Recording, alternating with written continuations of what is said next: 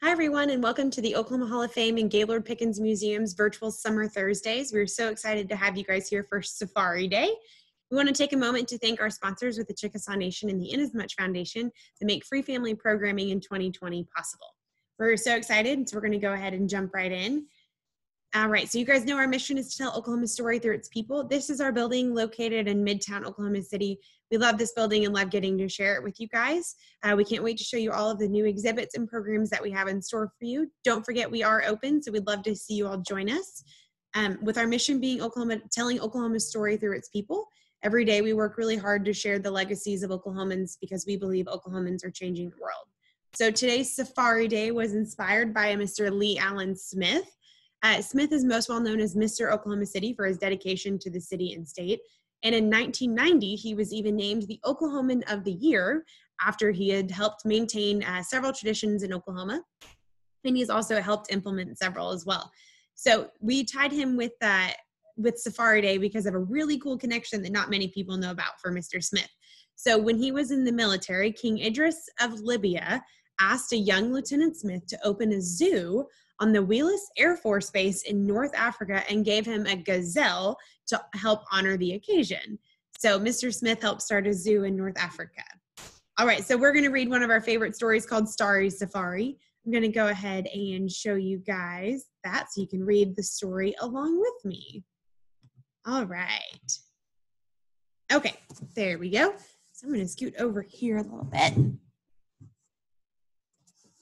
Okay, so we're going to jump right in with Starry Safari. All right. Racing in my sturdy Jeep on safari, beep, beep, beep. Passing fields where zebras feast, trailing herds of wildebeest. Gazing at a tall giraffe, bump into a rhino calf. Angry rhino starts to chase. Lanky ostrich joins the race.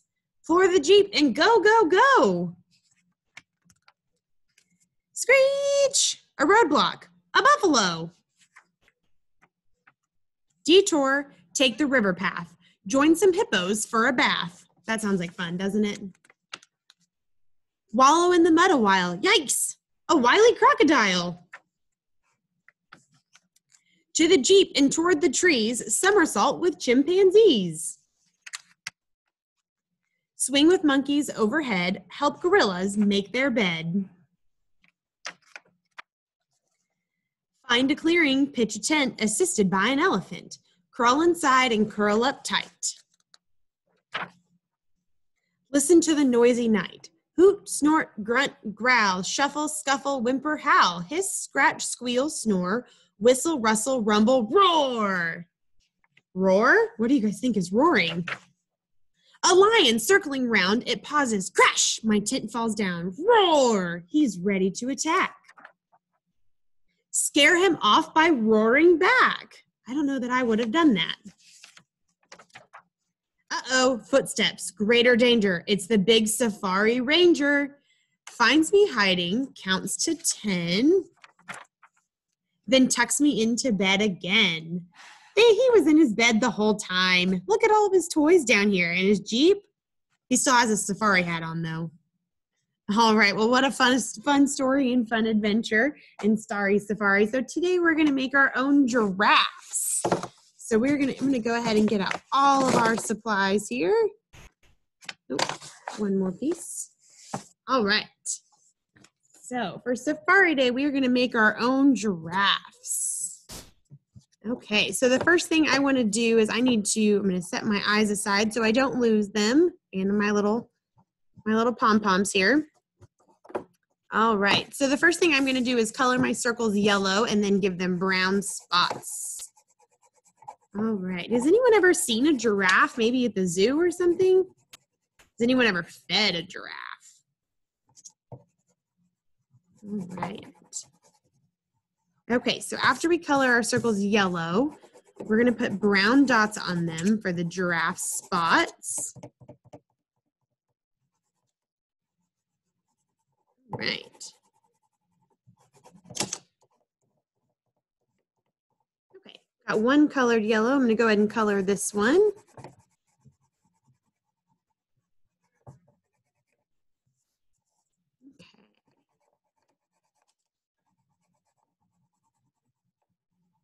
Okay, now that both my circles are colored yellow, I'm gonna go ahead and give the giraffe some spots.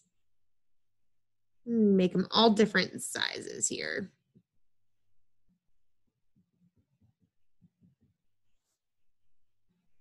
All right. Do you guys have a favorite safari animal?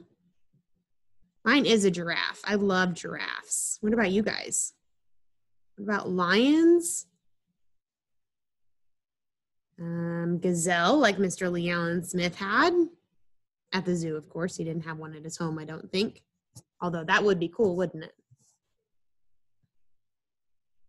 Okay. Let's see here. Okay, now that those all have dots, we're also going to put brown dots on our paper, on our clothespins, because this is the giraffe's, um, this is going to be its neck and their legs. So go ahead and put some dots on your clothespins. And just on either side, they don't have to be on the uh, on the sides on this part of it.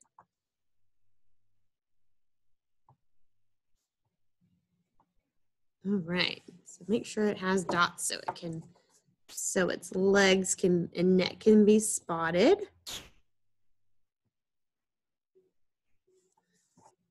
Okay.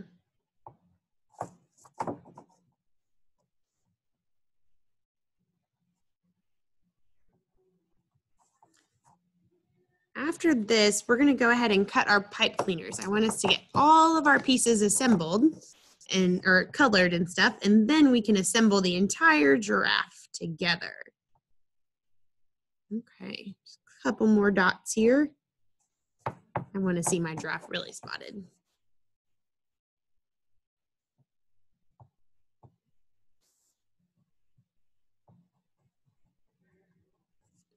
Okay, so now that those are done, the next thing I'm gonna do is I'm gonna cut my pipe cleaner. And I need a couple of things. I need ears, I need horns, and I need a tail. So my ears, I'm gonna do first, and I'm gonna make my ears about that big, but there's not a set size for them. I'm gonna do my horns just a little bit taller.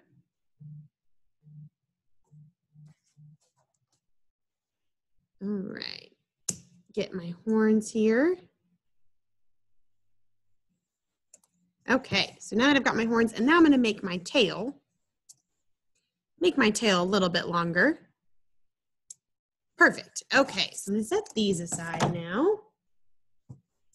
And then, oops, the next thing I need to do with my tail is I wanna take my brown yarn, leave a little bit of room to attach it, and twist it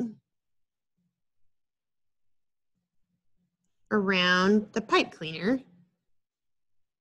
just like that. And then we're gonna let it dangle a little bit. And I'm gonna kind of fray it just by rubbing it between my fingers a little bit. So it looks like a giraffe's tail.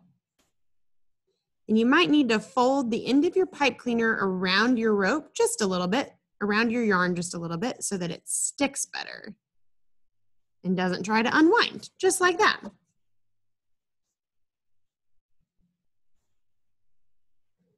Okay, so now that we have that, set that aside.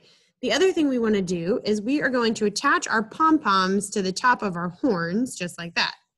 With it, we're going to use glue dots to do that. So you want one glue dot per pom-pom. I'm just going to peel the plastic off here. Like so. Set that aside. I'm gonna pick, I'm gonna put the glue dot on the pom-pom and you might need to use your finger to get it to originally onto the pom-pom. So it's on there now, and now we're just gonna stick it to the top of our pipe cleaner, like so. All right, so now we've got our pom-pom on top of our horn. We're gonna do the same thing with the other one. Okay,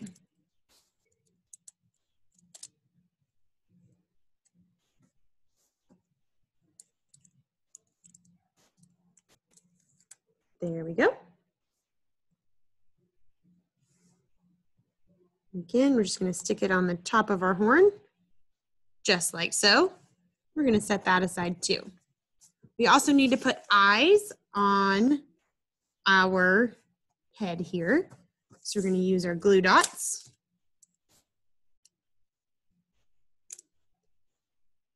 All right.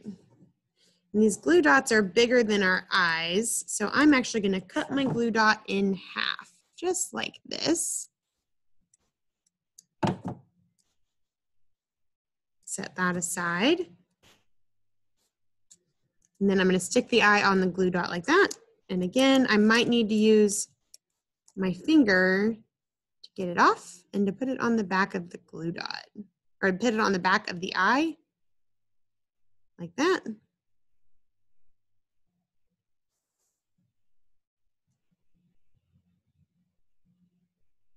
All right. Squish that down a little bit.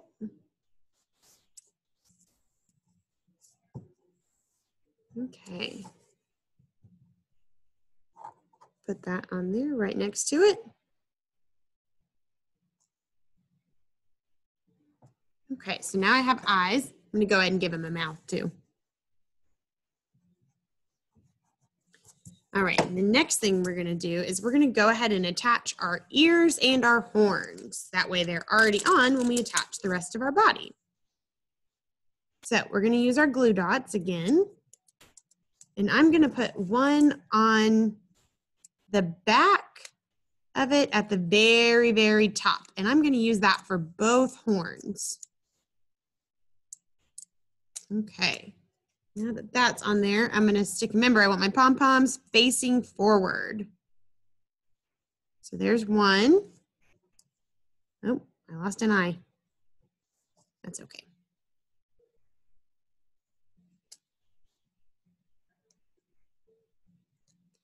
All right, so now I have my horns. Let's see about spreading them out a little bit. There we go. Okay, now I need my ears. So I'm gonna go ahead and flip him back over and I need a glue dot for those. So I'm going to go ahead and peel this off again. And my ears on giraffes go out to the side just a little bit. Outside of the horns, I should say. Okay, so just like that. And one more.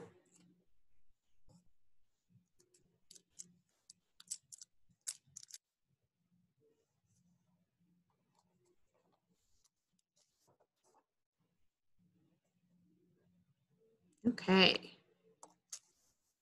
There are my ears.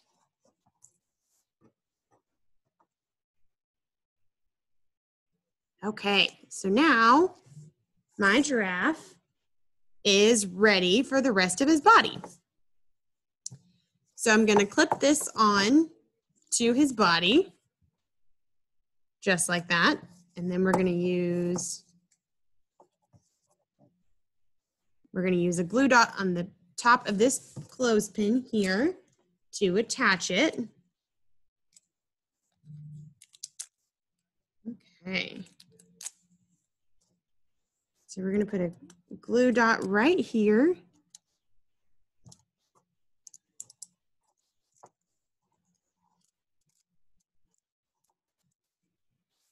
There we go.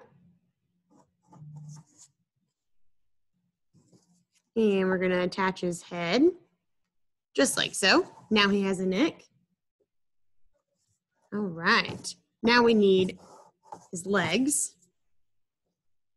And his legs just clip on just like this. We need one more thing, his tail, of course. We're just gonna use a glue dot on here to attach his tail. So you're just gonna put your glue dot on the underside, just like this, and just peel the plastic off. Remember, you may need to use your finger a little bit just like that. We're just gonna stick his tail on. And now we have a giraffe. And the cool thing is, if we angle our legs just right, he will stand on his own. Well, my legs aren't angled just right. There we go. Perfect. All right. Go ahead and stop sharing this. Thank you guys so much for joining me for Safari Day. I've had so much fun with you guys and can't wait to join to uh, do this again with you next week. We hope to see you all soon. Bye.